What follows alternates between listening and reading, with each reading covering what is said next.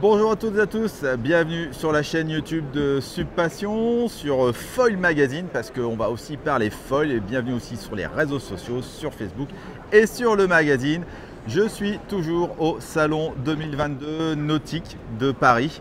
Euh, heureusement, heureusement, il y a quelques stands nautiques et heureusement, on a euh, Chris, Mister Chris de France de Powerfoil qui est là. Salut Chris. Salut Steph. Bienvenue sur la chaîne euh, Pêche, chasse et nature. Nature et Tradition. voilà, la chemise se porte en kaki cette année. C'est la nouvelle tendance pour l'hiver. À être vue dans les feuilles. Pour ceux qui n'ont pas vu la, vidéo Redwood Paddle, on va redire aussi un petit peu, bah, parce que Powerfoil et Redwood Paddle ont déménagé. Ils sont toujours ensemble, toujours ensemble. Donc maintenant vous avez changé de locaux. Ça change beaucoup de choses aussi en termes de, fabrication, de production des planches, il y a des nouveautés, mais euh, tu as pas mal de, petites choses à dire aussi quand même euh, concernant l'évolution des planches et de, la conception de la machine. Tout à fait. Ben oui, le gros changement euh, cette année pour nous, c'est le, déménagement. Donc on a déménagé dans un gros bâtiment au bord de l'eau, on est à 30-40 mètres de l'eau. Pour les tests, c'est pas mal. Ça change tout. même si avant on avait un quart d'heure, 20 minutes pour y aller, ça change quand même tout, même pour, euh, pour le confort des gens qui travaillent avec nous, hein, parce que là tout le monde est à l'eau tous les midis. Mm. Donc euh, le matin, le soir, donc ça c'est vraiment chouette pour le confort de toute l'équipe. Euh, bah, on est surtout passé d'un bâtiment de 300-400 mètres carrés à 1500, donc c'est vrai qu'en termes de production, Powerfoil a explosé. Donc ça correspondait à la demande du marché de toute façon, et puis à des envies. C'est vrai qu'on a, passé là quand même euh, deux années, euh, trois années euh, dans un, tout petit bâtiment très serré. Avec Redwood Paddle, c'était vraiment. on se serrait les coudes. Donc bravo déjà à mon équipe, enfin toute l'équipe, parce que vraiment, ils ont fait un boulot de fou ces dernières années.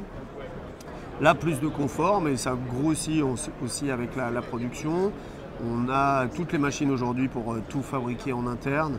Donc ce n'est pas une réalité en termes de production totale. On ne fait pas la totalité des planches par exemple chez nous, mais on est capable d'usiner, puisqu'on a une grosse CNC, euh, les planches euh, des, prototypes. Faire du custom. Faire du custom, c'est ce qu'on fait aujourd'hui. On a des vraies demandes là-dessus.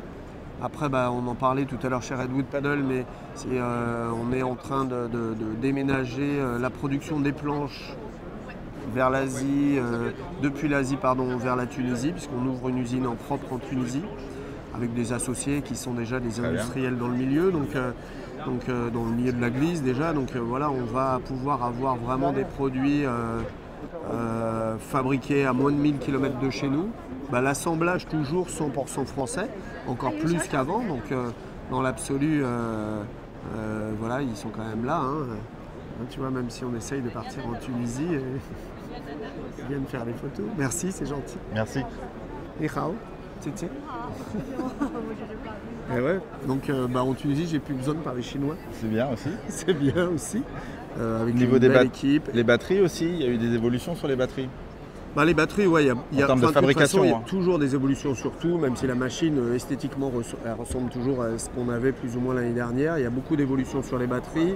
Elles sont toujours fabriquées en France, bah, de, mieux en mieux, je dirais, de façon de façon de plus en plus industrielle, donc professionnelle. Et euh, ça nous fait gagner en autonomie, ça nous fait gagner en poids, on gagne plein de choses sur ce côté-là. Voilà, aujourd'hui, bah, on a une machine qui est vraiment fiable, donc l'idée c'est de travailler de plus en plus sur des nouvelles ailes, des nouvelles hélices, donc ça c'est vraiment le, job qu'on a en ce moment. Donc on a déjà des nouvelles hélices qui sont présentées.